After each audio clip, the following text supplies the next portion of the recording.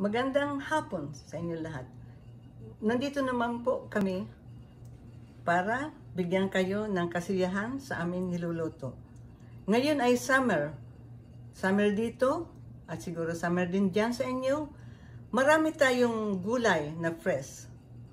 Kaya ang gagawin natin ngayon ay magluluto tayo ng beans, Baguio beans ang tawag dito sa atin at shrimp, hipon.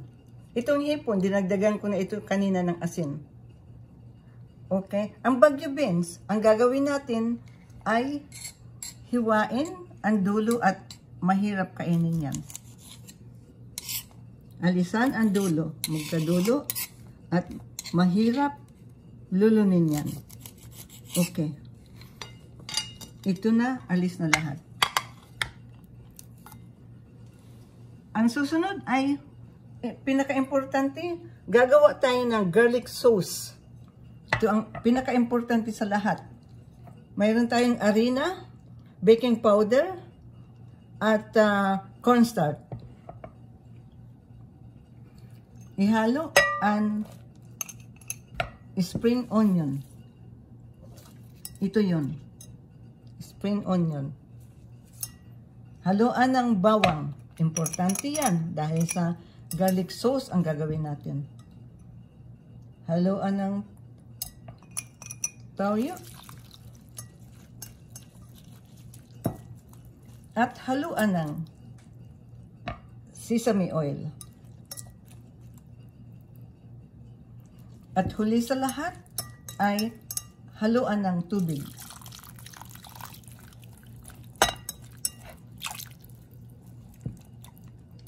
Ngayon, ang gagawin natin dito sa sa beans ay pakukulaan natin ng tatlong minuto parang ma-blanch natin, luto natin ng half cook.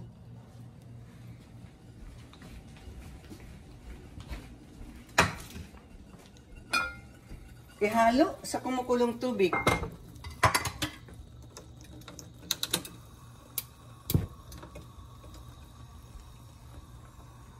Maghintay tayo ng tatlong minuto, pero hindi na tayo pwede maghintay, kaya mayroon ako dito, uh, blinans ko niluto ko kanina ng half ko, para tuloy-tuloy ang pag-present ko sa inyo.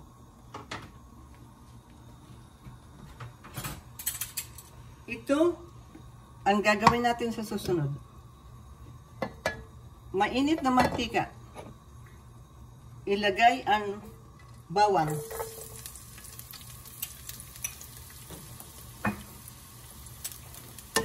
Kaunti.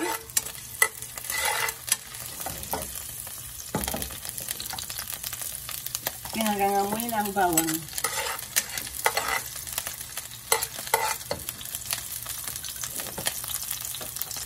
Ilagay ang hipon.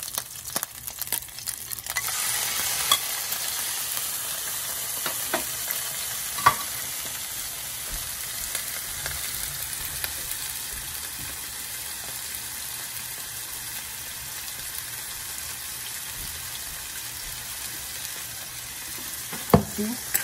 Haluin natin. Yes, ang hipon ay madali na ito maluto pero hindi natin dapat lutuin ang gusto.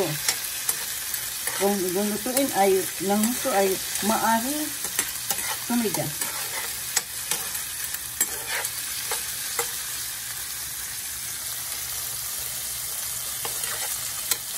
Okay.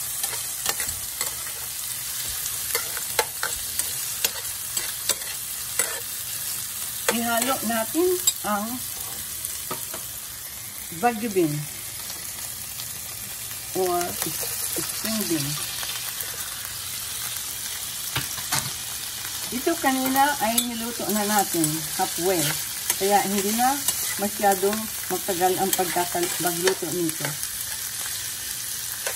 Okay.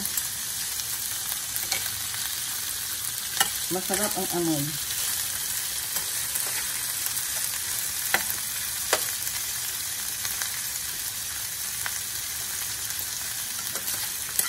Haluin ng bahagya.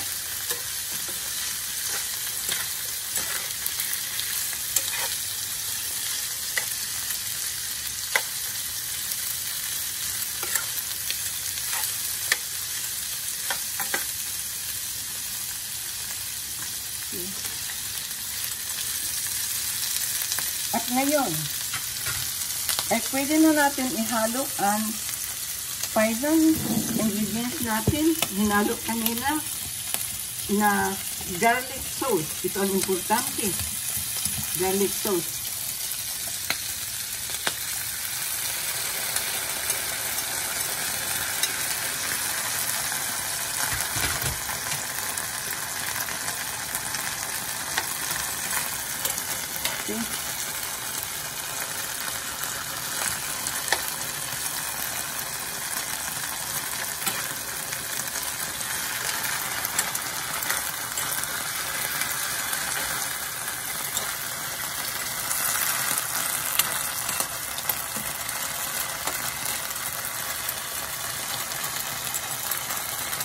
Ano yan?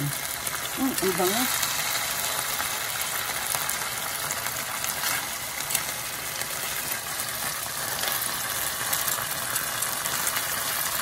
Konting luto pa.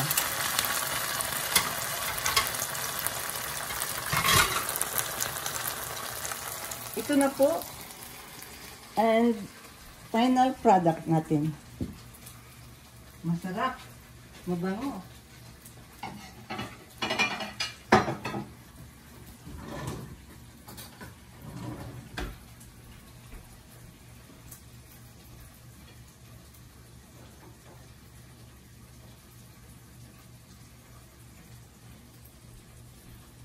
Tikman natin. Oh. Ang bango. Nakakapangganat kumain.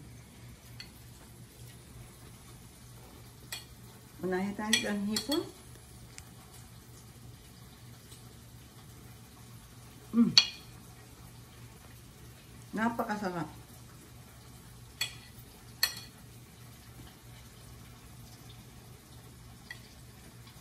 Isa pang subo. At talagang nap napakasarap. Mm.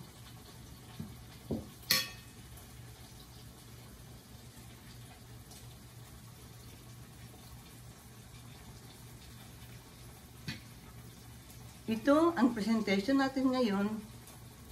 Paki-subscribe lang sa channel ko, Tipin Mendoza. Kumusta na po kayo dyan? Nanang, tatang, mga kapatid, mga kaibigan. Thank you so much for watching. Stay home, stay safe. Thank you.